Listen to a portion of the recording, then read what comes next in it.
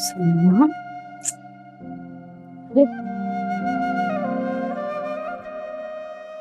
बेटा बीमार पड़ जाओगी। फिर मैं और क्या करूँ अम्मा?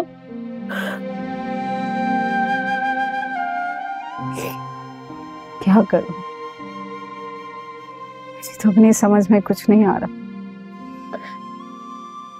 अम्मा माँ आप आप अब्बा को समझाए ना मुझे भी शादी नहीं करनी। आप आप तो जानती है मैं भी पढ़ना चाहती हूँ। मे, मेरा एयरफोर्स से पायलट बनने का ख्वाब वो कैसे पूरा होगा माँ? मुझे पता मैं कोशिश करती हूँ तुम अपना दिल छोटा मत करो। पापा हो सकते हैं अम्मा वो आपकी नहीं मानेंगे। तो फिर क्या करो बेटा? मैं इस तरह से रोता हुआ अलकान होता हुआ देखती रहूँ। मैं मैं आपको बता रही हूँ मैं मैं मर जाऊँगी लेकिन मैं शादी नहीं करूँगी माँ। चुप हो जाओ फजूल बातें मत करो।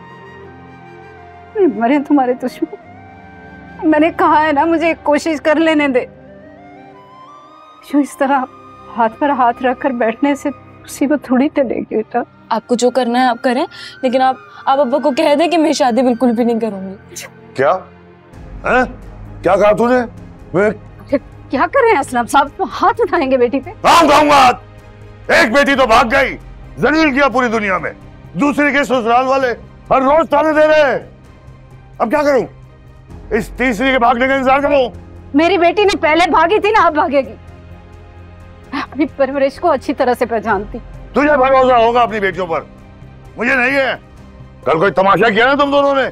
जान से मार दूँगा।